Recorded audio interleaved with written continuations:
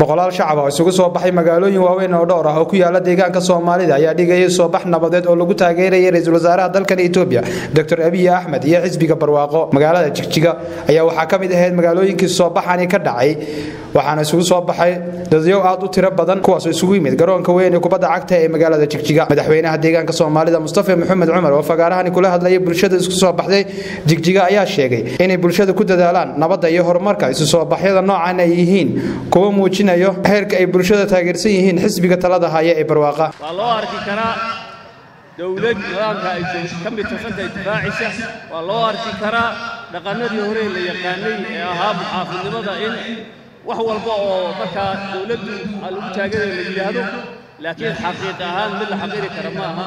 Ra'iisul wasaaruhu inuu taariikhda etoobiya u geli doono inuu yahay ciddii soo afjartay nidaamkii dilka kufsiga boobka xaqiraadda ku hayay shacabka soomaaliyeed iyo gudahaan shacabka etoobiya arrintaas weeye ta maanta aan bogaadinaynaa ta maanta aan isugu soo baxnay xisbiga barwaaqo intii aan ka mid noqonnay raadka aanu ku yeelannay siyaasadda dalka etoobiya wuxuu ka muuqdaa kaalinta hadda aan ka ciyaarayno siyaasadda dalka meeqaamka iyo ixtiraamka shacabka soomaaliyeed iyo hoggaaminteeda loo hayo. Wax la diidi kara maaha intaa marka laga tago waxaan ugu baaqaynaa ururada tartanka nala gelaya ee deegaanka soomaalidu in ay isu diyaariyaan doorasho xor iyo xalaala oo aan caburis iyo cadajullayn iyo dil lahayn. Waxaa taa qayb kaa marka in iyana ay diyaar u ahaadaan inay ixtiraamaan nidaamka doorashada nidaamka sharciga ee tartanka ee ay saxeexeen haddii xadgudub ku salaabsan nidaamka dawliga ay sameeyaan oo lala xisaabtamo macnaheedu maaha in la caburino waa inay kala saaraan. Haddii qawaaniintii lagu heshiiye ay ka baxaan waa lala xisaabtamayaa qacan adagna waa lagu qabanaya. Haba yaraatee looma oggolaanayo in shacabka masaakiinta ee soomaaliyeed ee soddon sano loo diiday inay nastaan. In maanta dad entitlement lahoo saacadday rabaanna dagaal gelin karra. Danaha iyagu ay leeyihiin shaksina ku xukumaya.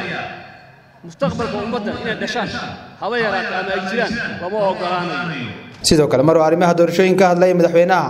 Ayuu ku sifeeyey in xisbiyada magaca qabiil wata iyo xisbiga magaca soomaalida wata aysan sinnayn. Islamarkaasna ay muhiim tahay in shacabka ay ka tashtaan aayahooda. Xisbiga barwaaqo inta badan lama sharxo muxuu yahay weeyaan. Heer heer qaran wuxuu yahay xisbi raba inuu isku wado qoomiyadaha iyadoon laga tegay nidaamka federaaliga iyadoon laga tegay nidaamka federaaliga oo cid walba deegaankeeda ay maamulanayso in la isku wado qoomiyadaha oo dhan oo cadiifad iyo nacaybkii la dhex dhigay la joojiyo. Heer deegaanna waa mid u taagan in soomaali la isku wado iyadoon laga tegaynin in qabaa'ilka iyo beelaha soomaaliyeed iyo deegaanka ku dhaqani cid waliba xaqa ay u leedahay inay ka qayb qaadato siyaasadda iyo dhaqaalaha iyo ganacsiga ka jira deegaanka iyadoon la xaqiraynin in soomaali la isku wado oo cadaalad la isugu wado oo in la garramo oo la doodo la isku wado. Xisbi u taagan weeyaan. Xisbiyada taa ka beddelan ee beelaha gaarka metelaya beelahoodu ha ku filaadaan xisbiga miduu kaga fiican yahay soomaali oo dhan inuu isku wado ayuu diyaar u yahay. Iyagana waxaan ugu baaqaynaa inay ka gudbaan fikirka madhariiska ee beelaha gaarka ay ku meeraysanayaan oy u gudbaan fikir guud oo soomaaliyadood koo iyo tobanka gobol cid walba ciddii fikirkooda qaadata ay ay maaragtay ay u bandhigaan fikirkooda fikirka ay hayaan markaa ha soo bandhigaan fikir aan hayb ahayn ha soo bandhigaan islamarkaana ay tartami karin. Islamarkaana ay tartan wadageli karin. Xisbiyada noocaasi ah ismaaciil yaasiin star t v jigjiga